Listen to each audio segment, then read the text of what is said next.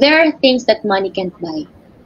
Pero you can use money for greater value, which is yung experience. Hindi yung mababayaran yung experience nila na matry na kumain sa isang boat. Kasi this year, tinreat ko yung, fam- yung family ko at relatives ko sa, ano eh, sa, sa isang mini boat na doon kami kumain. The experience there was so meaningful for them. At hindi ko mababayaran yung ngiti, yung saya, at yung oras na nandun kami. That was a hard-earned money. Pero yung mere fact na napasaya mo yung tao dahil dun sa perang pinaghirapan mo, that is so important to me.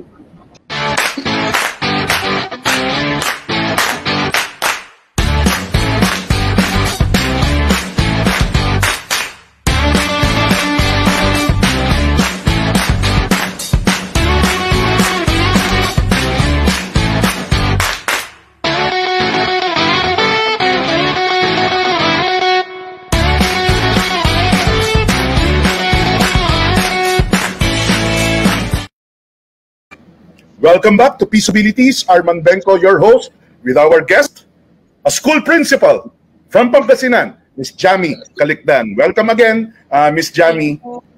Financial Fitness Quiz. Balik-balikan niyo po yung replay nito. Sabihin niyo sa mga kamag-anak niyo kung meron nanonood dito na may asawa, padala, tapos OFW asawa niyo, padala niyo yung uh, replay nito. Financial Fitness Quiz. Di ba? Simple lang. Ha? Simple lang yung Financial Fitness Quiz Miss yes. Jamie, tanong ko sa iyo ngayon, um, how much of a factor are your parents and are your parents your first mentor sa sa pera? Yes po, Kasi lalo na po yung mom ko. Uh-huh. Talagang nung pagkabata po talaga is ano eh, tindain talaga kami ng mom ko na to, what is the value of money. Hindi, hindi ko po talaga makakalimutan yung sinabi ng mom ko na kapag may pera ka, dapat inaalagaan mo yan. Hindi mo yan pinapabayaan, ganun po ang pera. Kailangan marunong kang mag-ipon, kahit na ganito lang yung, kasi nung bata ko, yung, yung baon ko noon is talagang malit lang. Elementary kami, 20 lang ata yung baon namin. High school kami, 50. Ganun lang po yung mga baon namin. Pero still, nakapag-ipon po ako. There was one time nung bata talaga ako, elementary ako, tapos kuya ko is high school pinagpipili niya kami kasi pag pumapasok kami sa school, mag-jeep kami. Hindi ko alam kung wala talaga akong bayad doon kasi naalala ko piso yung binabayad ko sa jeep noon eh. Anong piso noon eh. Tapos pag uwi na kami, sabi niya sa akin, oh wait lang, mamimili tayo ha. Anong gusto mo? Uuwi tayo na may pagkain, pero maglalakad. Or, uuwi tayo ng naka-jeep. Sabi niya sa akin. Eh, syempre, bata ako noon. Mas gusto kong mag kumain. Eh, yung nilalakad namin pa uwi ng school nung siguro may may 5 kilometers, ganun. Huh? Ganun ka. Oo, pero ang ginagawa namin ng kuya ko. kilometers? Parang, parang pa, Pangasinan hanggang Paranaque na yun, ano? Pangasinan hanggang Paranaque. Ay, parang ganun. Pero alam ko malayo yun, malayo yun eh. So, ang ginag parang doon sa training na yun, parang na-realize ko right now na yung ginagawa sa akin ng kuya ko is he was training me to choose wisely on how to use our money. Parang ganun. If you can save kasi na while enjoying, or you can spend pero you're ano, 'di ba? Pero for me kasi ang saya ng childhood ko kahit pa paano. Um, masaya po yung childhood ko with my my family din po. Yun na I'm learning about money as early as elementary talaga. So high school talaga may nipon na ako meron na akong bank account nung high school, ganyan po. College ako, um, pagka-graduate ko ng college, never na akong humingi ng pera sa family ko. Ah, talaga? Sa parents. Talaga? Why? Yes, opo. Parang sabi ko nung, I, um, nung ano po, nung tawag dito, there was a time na na may mga discounts kami. Pero kasi, ano eh, parang hindi na-apply agad-agad. Parang ganun po. So, yun. Ah, Tapos, yung, no, unang trabaho mo, saan ka ba unang nagtrabaho? Sa school na? Actually, yung first job ko talaga na mga consider ko is, meron kasi kaming tutorial center nun, sir. Parang, ang vision kasi ng mom ko nun is, gusto niya mag-handle ako agad-agad. Eh, fresh graduate ako. Parang sabi ko, parang, hala, kaya ko na ba mag-handle agad ng tutorial center? Parang hindi ko ata kaya. Sabi ko gano'n sa mom ko noon. Siguro kasi um, kapag fresh graduate ka, ang nasa isip mo is, what you learn in school, you're going to apply what it is. Parang gano'n sa classroom setting, ganun, ganun. So parang dumating din sa point na after a year, talagang nilet go ako ng family ko. Kasi syempre siguro, um, ba- babae ako, gusto ko magtrabaho somewhere, not in my comfort zone, parang gano'n. Inalaw nila ako magtrabaho sa Laguna. Which is kahit pa paano, it's a bit of province pa rin sa Laguna. So, yun pumayag sila, which is north to south, and ang layo. yeah, pero nala- nawalay ka rin, nahiwalay ka sa kanila? Yes, so, yes, for four years, I'm on my own. So, para for four years, pumunta ako sa isang lugar na I'm on my own, paying my bills, rent, how to eat, um, saving, and pag umuwi ako, I'm giving them lots of ano din, things and something to buy for them. Yun po yung mga ginagawa ko din.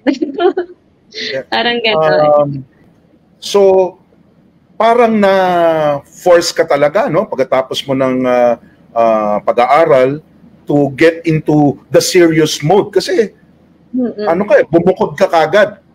Mm-mm. Pero it was my choice din po kasi, sir. Oh, Parang gusto ko talagang i-ano na hanggang saan yung limit ko. I want to know, parang nagkaroon ako ng, ano ba yung identity ko talaga? Parang, ano ba yung kaya, kaya talagang gawin ni Jack?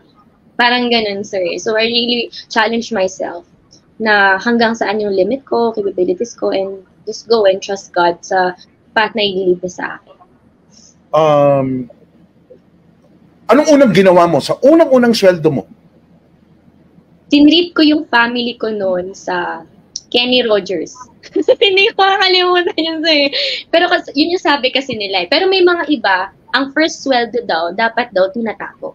Pero what I did is yung yung part ng sweldo ko tinago ko, yung part ng sweldo ko tinreat ko yung family ko. Tapos yung iba talagang sinave ko lang po talaga. Uh, first time mo bang nag-treat sa family mo nung sweldo mo? Actually, hindi naman, sir. Oh, hindi kasi naman, uh, college ako, pag may, nasa Baguio kasi ako na nung college eh. So pag umuwi ako, I usually buy something for them. As early as high school, kung may nakita akong mga tinapay din or something na turon, yung mga ganon. Bibili ako. Turon, paborito ko yun. Paborito ko yun. Yung mga ganon sa mga tabi-tabi. Uy, choose wisely how to use money. Oh, yeah. Diba, sabi ng kuya mo daw yan eh. Sabi ng kuya mo yan. Kung apat na. Choose wisely how to use money. Oh, keywords number four, ha? Oh, pasensya na kayo, principal, principal yung nagbibigay ng keywords. Ang haba. Dati keywords natin, capabilities lang. Dati money lang. O ngayon, ang haba eh, principal eh. Principal, anong wala tayong magagawa. Kaya yan ang uh, na lumalabas. Pero, uh, 50,000 yun. Oh, Miss Jamie, um, ito, I want to ask this question. Sige ba? You get a good feeling when you give, di ba? When you share, yes, when you yes, give, yes, di ba? You, yes. you get a good feeling. Um, ano exactly yung nararamdaman mo inside you? Hindi yung hindi yung madrama na because kay Lord. Of course kasama 'yon, no? Pero ano yung whether physically nanginginig ba, may rumbling in the stomach ba? Meron bang your heart is jumping dahil natutuwa ka? Ano ang uh, when you when you treated your family or uh, maybe your friends uh, later on nung uh, regular ka na. When you give, share, treat people, uh, what does it do to you? For me, sir, parang um, there are things that money can't buy. Pero you can use money for greater value, which is yung experience.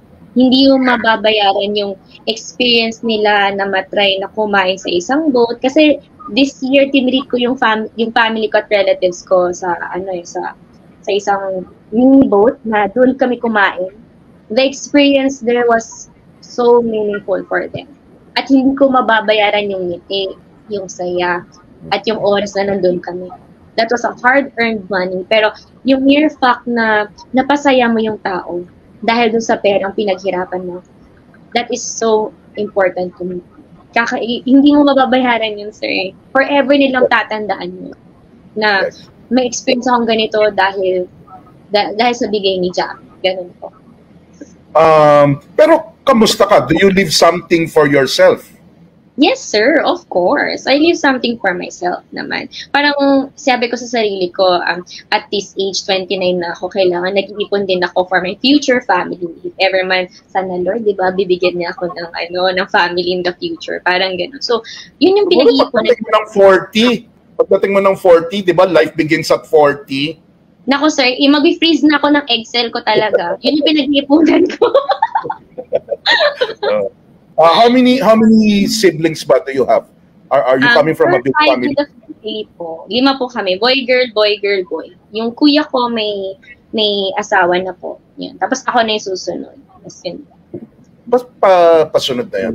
Um, what aspect of uh, financial literacy or money management ang kailangan mo pang matutunan na uh, Jamie Kalikdan na uh, uh, kung nasaan man ang katayuan mo ngayon.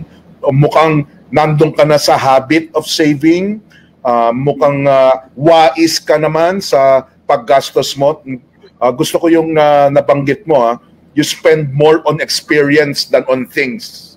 Mm-hmm. Di ba? Kasi okay. ito, masisira, mawawala, mananakaw, uh, the experience, even in our deathbed, hindi natin iisipin yung relo, iisipin natin yung experience. Eh, no? Uh, ano pa ang kulang o gusto pang aralin ni Jamie sa larangan ng pananalapi uh, and, and managing personal finances?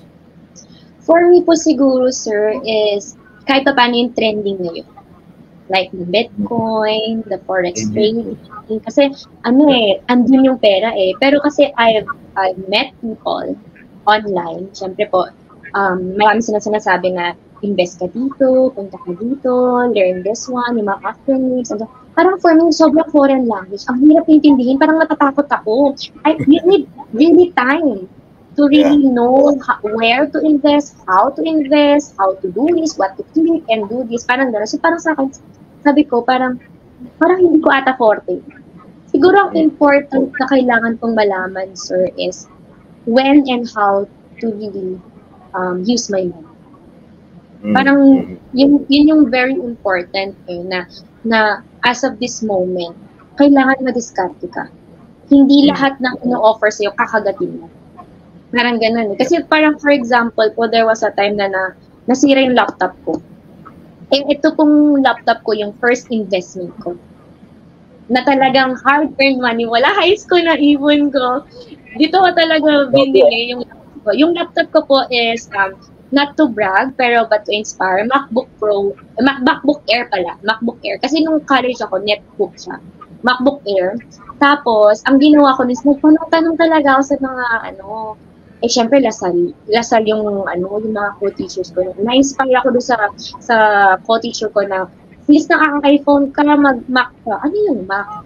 Ang gano'n. Hindi ko alam yung may Apple pala na brand. Sabi ko kasi sobrang hindi ko talaga alam yung mga branded things talaga. So, inalam ko. So, nag-observe ako ganyan-ganyan. Sige, bili po ako, invest ako. Nagulat yung mga tao, parang two months pa lang ako sa work, nakabili na ako. Kasi parang sabi ko, mula high school ko po pinag-ipunan itong laptop. Sabi ko, Tapos there was the time, 2014 yun, hanggang ngayon, 2021, it is still working. I'm still using my laptop. Pero there was a time, Sir Armand. Worth investment, ha? Worth investment. Yes. Nasira yung laptop ko, Sir Armand. Hindi siya, kahit anong pindot ko sa YouTube na eras na hindi siya umiilaw, blank talaga siya. So nataranta ako, hindi to yung buhay ko, hindi to yung work ko eh. So, eh yung nearest dito na Mac store was in Rosales ata nun. Okay, tapos pumunta pa kami sa Pampanga. Inassess ng MAC, ganyan.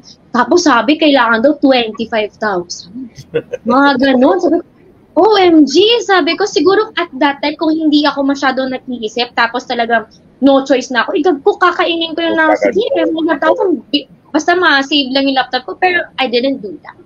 What I did is, I ask people ulit. Sabi ko, ang, for me kasi ang sakit na ng 25,000. I ask people, ano kayang gagawin ganyan. So, there was a friend of mine na dinala yung laptop ko sa Manila. Tapos pinagawa niya doon 5,000. Okay na ba yung gamit? Sabi, sabi ko, oo naman, okay na okay na yun, 5,000, laban mo sa 25,000. So, for me, na-realize ko na in life, you really have to be parang discarte, madiskarte ka talaga. You really sa, know when and when to invest your money. Ganon. Kasi, Minsan, ginamit, ginamit na namin na keywords yun. Uh, mm-hmm. Dati, investigate before investing. Whether mm-hmm. you invest money, time, or sa gamit, or sa future mm-hmm. husband mo, eh, bigyan mo muna ng financial fitness quiz. Uh, investigate before investing. Ha? So, Miss Jamie, kapos tayo ng oras. Sana mabigyan mo kami ng pagkakataon muli. Marami pa akong uh, gustong tanong eh, lalo na uh, kasi nga majority of the population are your generation, uh, your genre, uh, yung mga YOLO, mentality, FOMO, uh, namama, namamayagpag pa rin ba yan? Uh, ano ba ang ano bang saysay niyang kaka ML ML ML nyo? Um, gusto kong gusto kong maintindihan bilang galing sa ibang henerasyon. Sana sa susunod na pagkakataon, bigyan mo pa rin kami ng oras. But I'll give you uh, your last message uh, for now. And sana tapusin mo yung last message mo ng see you again dahil sabihin yeah. papayag na ulit ng uh, uh, another guesting. Uh, Jamie Kalikdan, principal from Pangasinan, a millennial, ano pong message niyo? Um, ang masasabi ko lang po, sir, is use your money wisely. Kailangan alam mo kung sino ang pagkakatiwalaan mo. Kung para saan mo gagamitin yung pera mo. At lagi mong tatandaan to save and live at the moment. Yun po. Jamie, thank you ha. Thank you. Uh, alam mo, meron akong uh, kung na kilala mo yung isang uh, public speaker din, uh, motivational speaker, si Anthony Pangilinan. Nagkakasama kami sa speaking circuit, lalo na nung wala pang pandemya. Eh, meron siyang uh, uh, malaking uh, influence sa akin dahil sabi nga, Armand, Armand, Armand, eto tong quotation na to, hindi naman to originally sa akin. Lagi mo tong sabihin, lalo na sa mga kabataan. Millennial Di ba? Uh, kasi mga millennial daw, uh, rightly or wrongly, ang pananaw, dapat magawa ito, dapat ma mabili ito, dapat magkaroon ako nito. Eh, napakaganda nung uh, uh, quotation that Anthony Pangilinan shared to me and would be my last message to you, uh, our viewers now in Peaceabilities. Sometimes it's not what we do or what we have. What is important really is you know what you want to be. You got to be, know who you want to be, before you got to do. And you got to do before you got to have.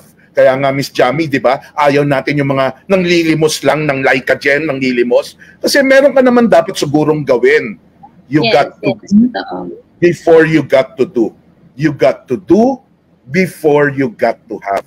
Uh, ito po si Armand Penko, nagsasabing magkita-kita po tayo hanggang sa susunod na lunes, 7pm, Peaceabilities here in CBRC.tv. Bye! Thank you